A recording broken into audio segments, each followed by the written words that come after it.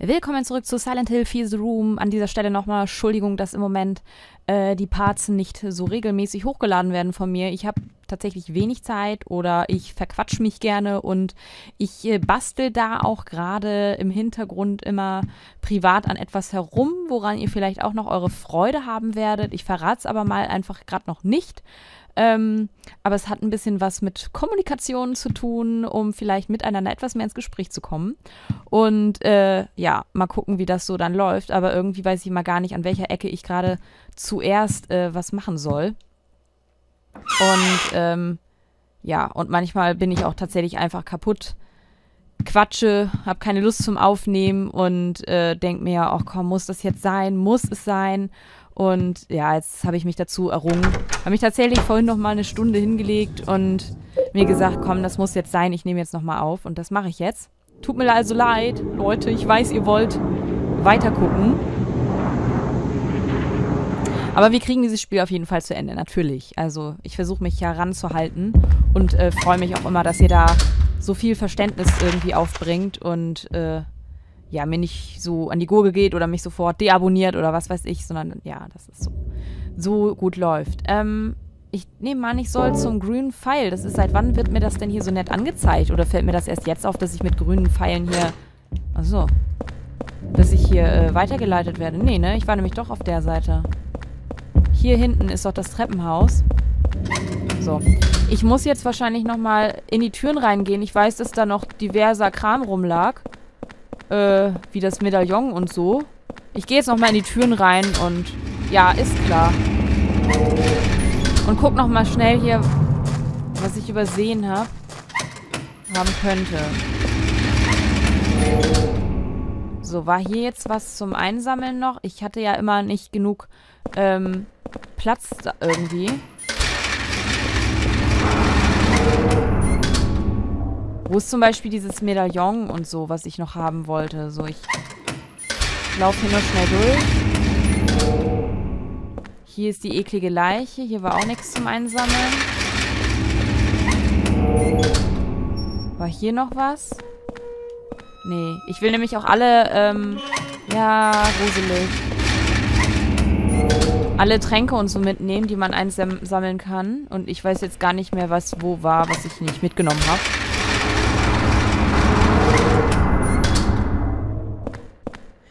Ich weiß nicht, was es mit den Blumen hier auf sich haben soll. Es verwirrt mich irgendwie. Vielleicht muss man die... Ja, ich habe keine Ahnung, was man mit denen machen könnte. War hier bei ihm noch was? Hier waren die, äh, diese komischen Stängeldinger.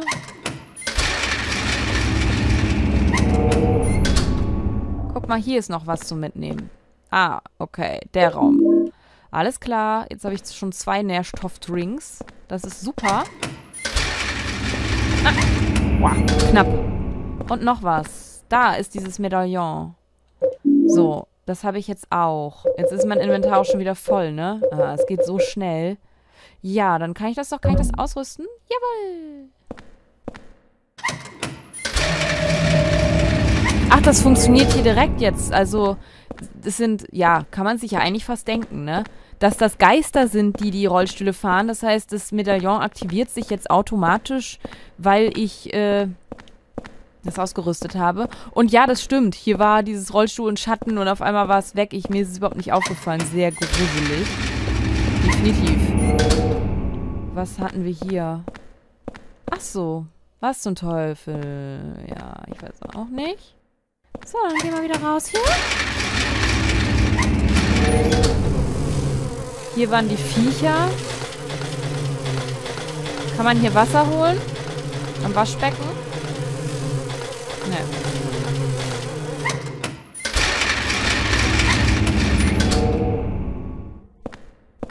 Ne. Äh, hier waren die, alles klar.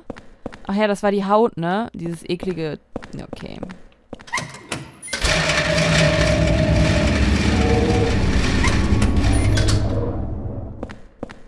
Hier waren die Röntgenbilder, aber hier war auch nichts zu holen mehr.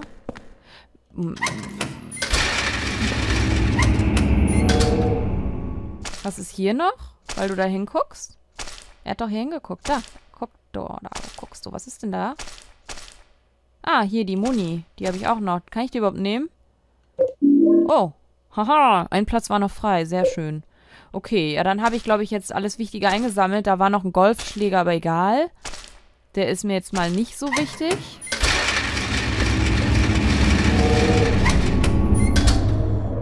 Ach ja, und hier war sie, ne? Ja, ja, alles klar. Kann ich auf sie schießen? Kann ich ihr wehtun? Dem ekligen Kopf? Okay. Äh, die stöhnt so widerlich vor sich hin. Ach ja, toll. Mehr kann ich nicht tragen. Das Dilemma. Das brauchen wir nämlich. Das ist nämlich unser Schlüssel. Ähm, njam, njam, njam. Wie sieht's denn aus mit der... Naja, er ist... Ihm geht's viel zu gut. Scheiße. Okay, ich merke mir mal den Raum. Das ist natürlich blöd jetzt. Also der ganz hinten links. Und dann können wir nämlich durch die eine verschlossene Tür, nehme ich mal an. Und ich laufe mal weg.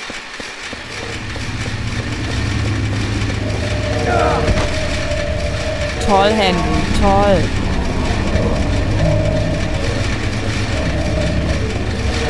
Och, Mann. Ja. Ist okay. So, jetzt muss ich leider zwangsläufig wieder zurück. Ihr seht ja, wie schwierig das ist. Ich weiß auch überhaupt nicht, wie man das machen soll, ohne hier äh, wieder zurückzulaufen, ganz ehrlich. Also, es geht ja gar nicht anders. Man muss ja immer wieder zurück.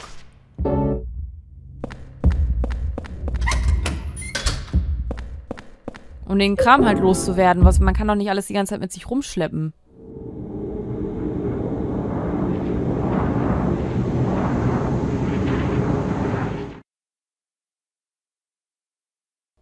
So, wieder zurück im Apartment 302. Yay. Oh, hier waren wir ja noch gar nicht oft. So. So. Ja, dann ab an die Kiste. Äh, dann packen wir doch mal ein bisschen Muni weg und ein, so einen Drink weg und so, dann haben wir zwei Heilungssachen. Die Tasche behalte ich mal, falls wir Aline finden oder so. Dann kann sie ihre Handtasche wieder kriegen. Dann haben wir noch die Heiligenkerze, äh, aber wir haben kein Feuerzeug, ne? Spezielle Kerze gegen Geister beginnt zu wirken, kurz nachdem sie angezündet und abgestellt wurde. Aber wir haben doch noch gar kein Feuerzeug. Bringt es dann was, ich die Kerze mit mir rumschlepp? Also im Moment nicht, aber wenn ich dann unterwegs wieder ein Feuerzeug finde, ist auch blöd. Hm. Ich lasse es mal so. So sind gerade zwei Plätze frei. Ich denke, das ist okay. Ach ja, ich gehe immer noch hier falsch. Äh, ich denke immer, wir müssen durch das Loch. Wir sind so oft da durchgegangen, da hinten im Badezimmer, dass ich immer noch daran denken muss, dass wir jetzt hier sind.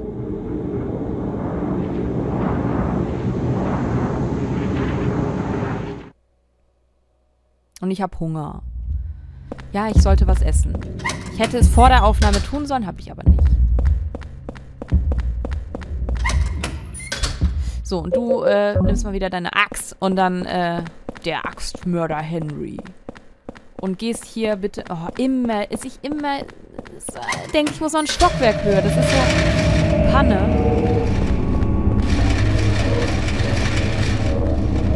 Oh, ich bin doch schon ausgewichen. Wollt ihr mich veräppeln?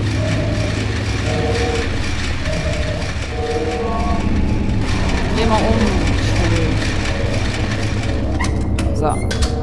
So, hol dir deinen Schlüssel. Schlüssel. Krankenzimmerschlüssel.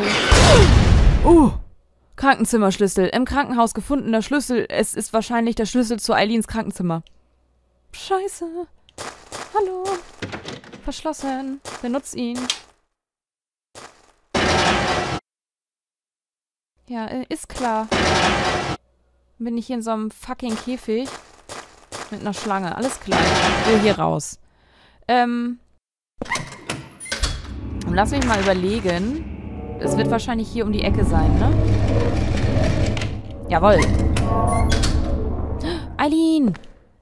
Hier sind ein, ein Skalpell, eine Schere und andere chirurgische Instrumente. Was machen die hier? Eileen!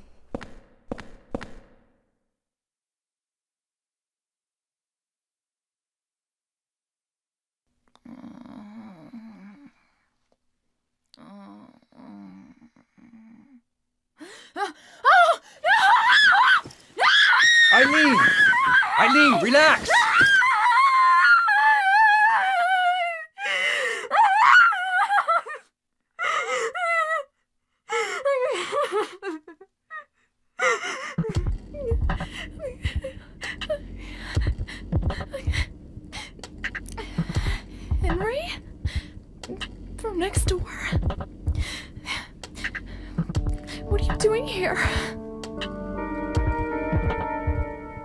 I don't. I don't know where to start. There was this strange hole in my room. I saw people getting killed. All these weird other worlds. And I saw you get attacked too. What are you talking about? I'm supposed to believe that? But it's true. And there was a kid with you.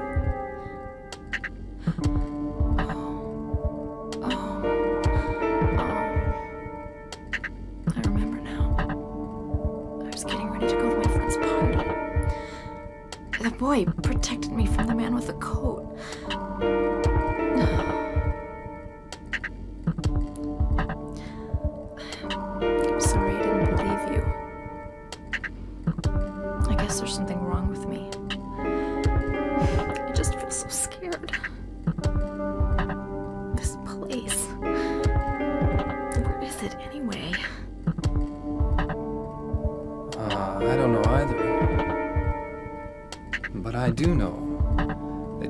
killed here, then you die in the real world too.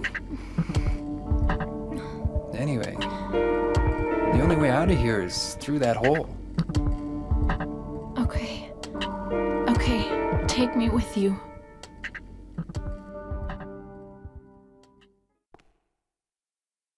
So. Eileen äh, ist jetzt in Obhut von Henry, also mir. Hm.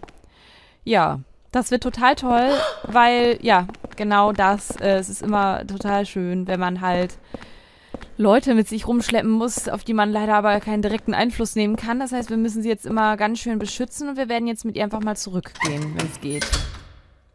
Oh, wo sind die Rollstühle hin? Es sieht nicht so aus, als käme ich hier weiter. Okay. Ähm, ich würde gerne mal wissen, was sie dazu sagt von ihrem komischen Gesicht. Ist das jetzt noch hier? Das ist nicht mehr hier? Das ist ja merkwürdig. Es ist nass vom Regen. Ach nee, das war ein anderer Raum. Stimmt, das war... Das war der Raum hier. Komm mal mit. Guck mal hier, was sagst denn du dazu bitte? Dass du hier bist. Das ist doch voll krank. Dazu muss sie doch was sagen. Das ist sie doch selber. This is a nightmare.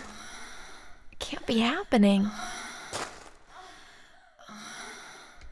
Ja. Und sonst sagst du dazu nichts, dass du einen riesen Kopf von dir selber hier siehst? Ja, dann nicht. Dann gehen wir wieder. Ja, soll man dazu auch sagen, ne? So, wir gehen jetzt langsam. Da kommt eine Gegnerin. Da kommen welche. Scheiße!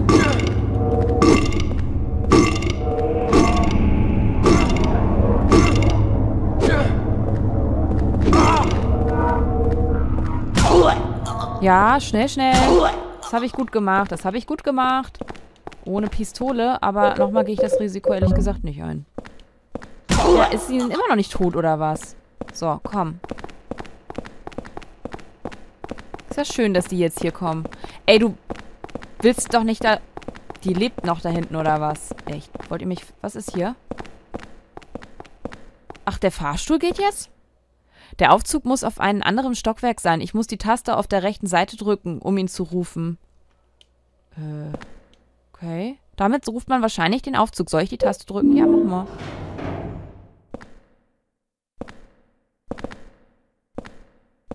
Und wenn wir jetzt den Aufzug nehmen...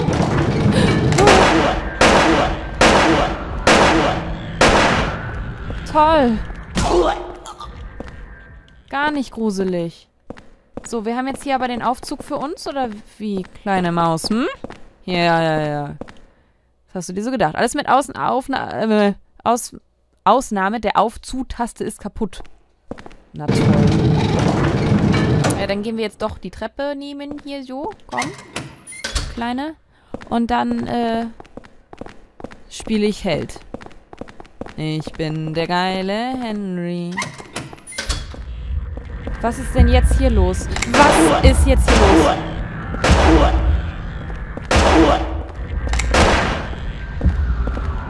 Ja, komm. Äh, komm, komm, komm, komm.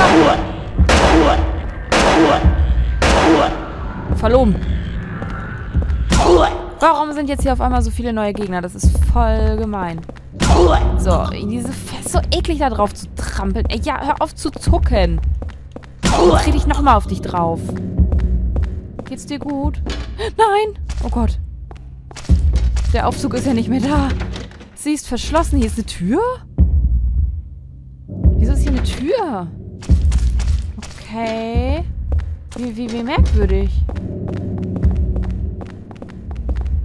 Ähm, wo wollen wir jetzt eigentlich hin? Wir wollen hier nach rechts, äh, damit wir durch das Loch gehen können, wenn es denn geht. Und du brauchst neue Muni, ne? Jetzt brauchen wir die Muni. So, durch das Loch. Mal gucken, was jetzt passiert. Kann sie mit?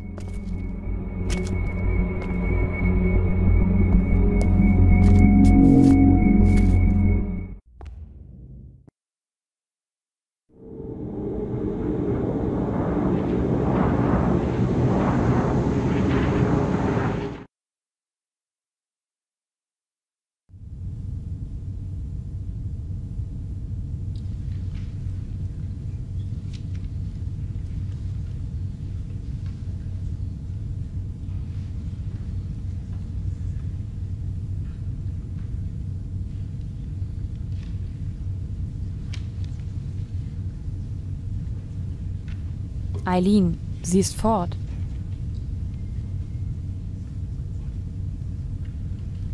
Also hat sie es nicht geschafft.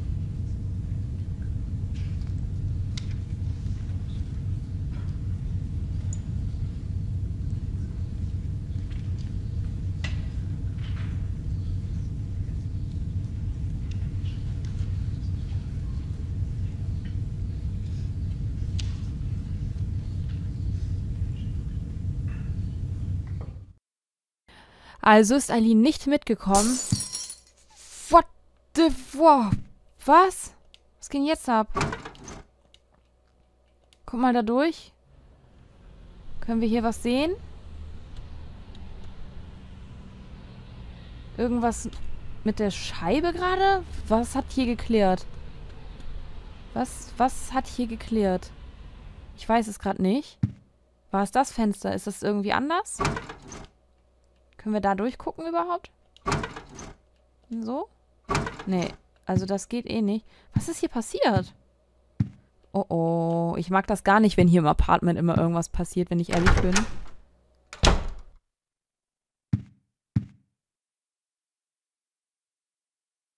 Die Luft in diesem Raum scheint schwer. Da ist was unter der Tür durchgesteckt worden. Und der Ventilator ist runtergeknallt. Wow, der Ventilator ist von der Decke gefallen. Das Zimmer, es ist so bedrückend. Oh oh, oh oh. Und das ist jetzt auch so komisch rostig hier, ne? So ein bisschen. So Silent Hill. Scheiße. Was macht ihr hier?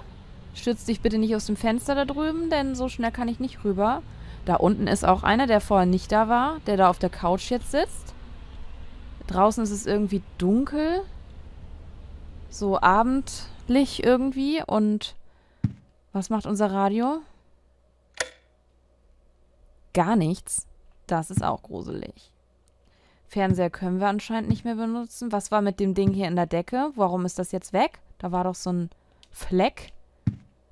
Okay. Können wir zu Eileen rüber gucken?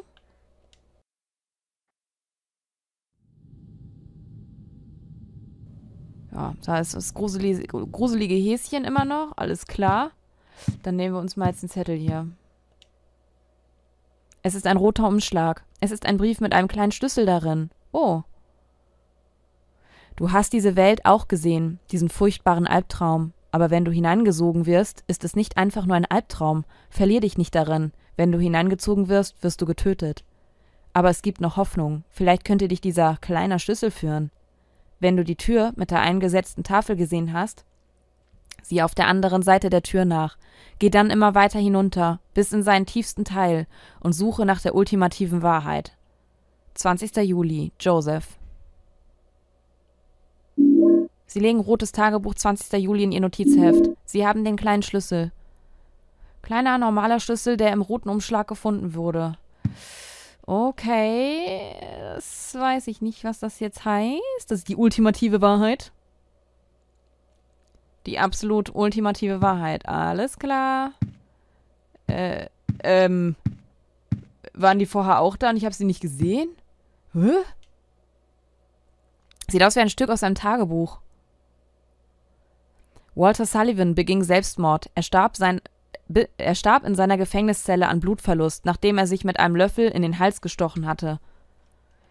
Sein Körper wurde in einem nicht markierten Grab auf einem Friedhof gleich außerhalb seiner Heimatstadt Silent Hill begraben. So, das, das hatten wir damals in Silent Hill 2 äh, in dem Zeitungsartikel gelesen mit dem Löffel. Genau, so war das. Danach wurde er weltweit berühmt und es schien, als wäre seine Reihe von Massenmorden nach 10 von 21 beendet. Aber drei Jahre später wurde eine Leiche gefunden, in die 12 von 21 eingeritzt worden war. Die Leiche war bereits sechs Monate tot. Das heißt, dass diese Person zweieinhalb Jahre nach Sullivans Selbstmord getötet wurde. Der Modus operandi entsprach genau Sullivans, mit einem Unterschied. Bei allen zehn Opfern Sullivans war das Herz entfernt und die Brust fachmännisch wieder zugenäht worden. Beim Opfer 1221 jedoch war das Herz noch vorhanden. Die Polizei geht von einem Nachahmer aus und geht entsprechend vor, macht aber keinen Fortschritt. Vor kurzem wurde Opfer Nummer 13 entdeckt. Auch das Herz dieser Leiche war intakt. Die Polizei hat noch keinerlei Verdächtige. Ich habe eine Hypothese. Nur sehr wenigen Leuten sind die Details der ursprünglichen Morde bekannt und wären in der Lage, Sullivans Modus operandi so präzise zu kopieren. Zuerst werde ich nach Silent Hill gehen, zum Friedhof, bei dem schönen kleinen See. Vielleicht finde ich dort die Antwort. 11. Juni.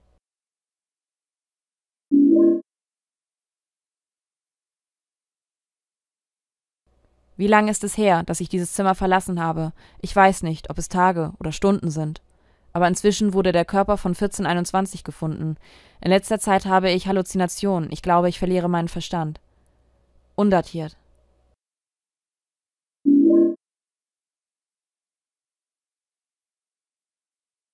An diesem Tag war das Wetter sehr seltsam.